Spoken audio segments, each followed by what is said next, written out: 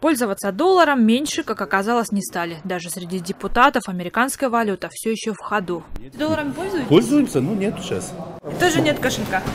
Да? А долларами пользуетесь? Ну, иногда пользуемся. Иногда для чего пользуетесь обычно? Ну, если есть доллар, поменять там.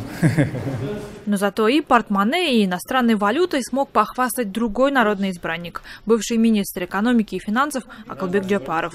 И доллары тоже и есть. доллары есть, и рублики есть. А я недавно э, встречал гостей, и они оставили остатки своих рублей мне.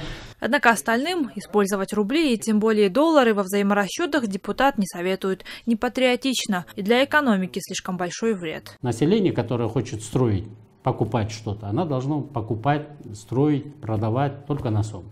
Цены в национальной валюте многие компании действительно установили. Одними из первых, кто исполнил постановление о дедоларизации, были строительные фирмы. Однако для своих клиентов застройщики установили свой собственный фиксированный курс доллара. Есть одна отметка, если доллар идет выше, допустим, 70 сомов, 70, 80, 90, то клиент вправе оплачивать э, в самах.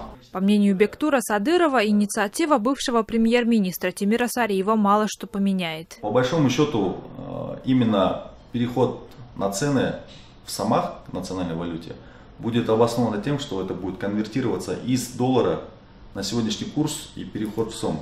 То есть, грубо говоря, если назвать человека, допустим, меня Бектуром или Иваном, суть особо не изменится. Финансист Джунус Ганиев объясняет, почти все товары в Кыргызстан привозятся из-за рубежа. Не привязывать их стоимость к иностранной валюте практически невозможно. курстук айырмалардан правительстве, видимо, хотят таким образом снизить риски от курсовой разницы, но решить эту проблему искусственным путем нельзя. Для этого надо развивать производство. Импорт у нас катастрофически превалирует над экспортом. А пока перейти на суммы не получается даже у госорганов. Для того, чтобы получить паспорт гражданам Кыргызстана, приходится платить вообще по курсу евро. Получается, собственную инициативу исполнить не могут даже в самом правительстве. Дюбек Бегалиева, Азат Антымаков. Настоящее время. Бишкек, Кыргызстан.